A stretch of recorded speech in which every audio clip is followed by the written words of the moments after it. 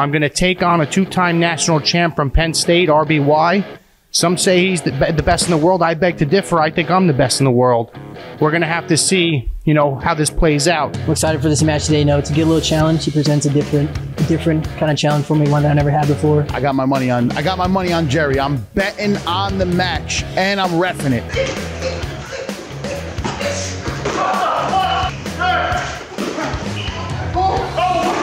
Do you think I was a tough match? Be honest. You're right. You know, it's nothing I haven't faced before, but you know, I'm excited to get the win. Take this, celebrate back home, maybe go out a little bit.